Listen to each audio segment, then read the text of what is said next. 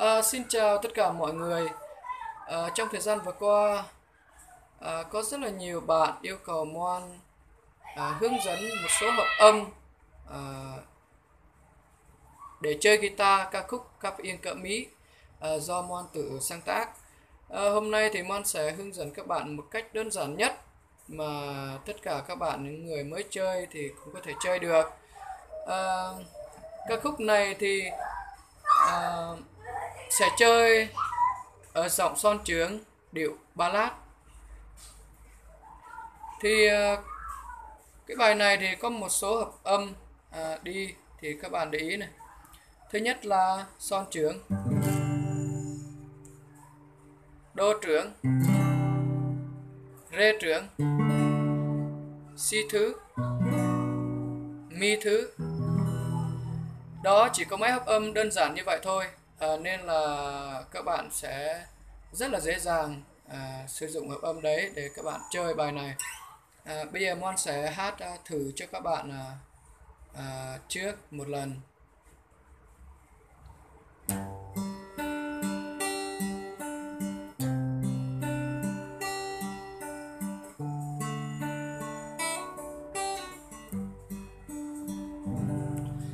Nọ về tờ lắc câu dia mi marung ba câu mau lúc lấy nam nhai. Mi kre ba câu nào ti ma qua mi kre ba câu nào ti em pim này lại tìm ta kenapa tisa qua ương băng bay tục làm hoại say chạy tư nâng to răng mẫu po căn mồm xe si. Chum mau chốt xe si chum mau răng lui xa rồi tay mà có lịch lăng lăng mi coi ngút ninh lũ tim xa chân pan mi câu rong ba nạc trôi ngông bắp đây mi câu bò hong clay knap bia ta mi at kirma Chẳng bre nak cho mau claim áp nhai cười tay Snan mi có ma pro mau thâu lòng tay. Tol di rai klangat chẳng mau claim mang.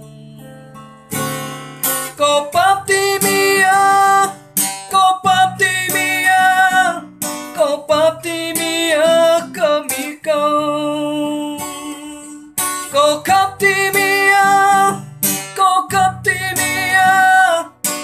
Ko kap ti mi Ko mi ko Ko yên ti mi Ko yên ti